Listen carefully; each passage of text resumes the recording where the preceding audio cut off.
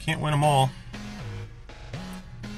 That uh, big $100 tip I was hoping would show up. Um, it's afternoon now, it's like 12.30. And it should have shown up, you know, like at, I think around 11.30. You know what? It did. It showed up. Thank you for the tip. If the person that's tipped me $100 yesterday for delivering their televisions, thank you so much. I appreciate that. Best tip I've ever gotten. So that's great news. All right, we're here at Walmart. Ethan's with me. He's my co-pilot today. Got some words of wisdom.